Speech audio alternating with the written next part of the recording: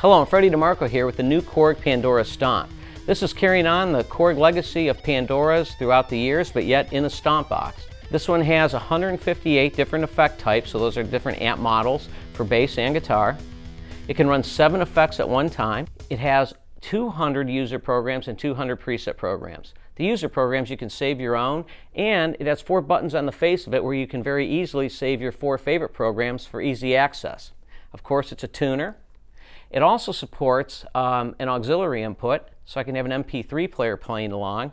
And you can use the pitch effect where I can actually pitch it up or down. So for example, a lot of guitar music is actually tuned down to E flat. Rather than tuning my guitar, in real time as it's playing, I can pitch this up to the guitar.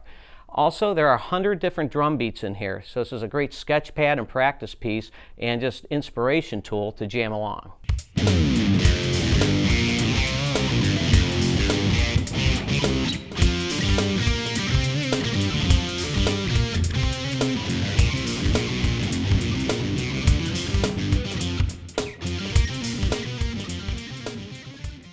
Yeah.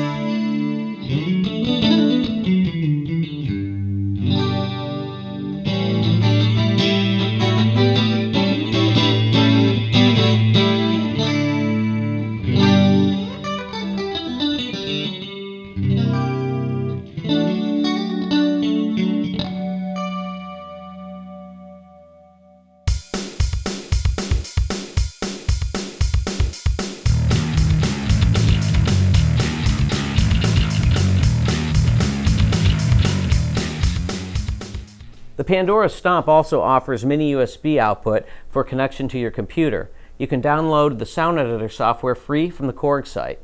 With that, you can manage files and do some deep editing.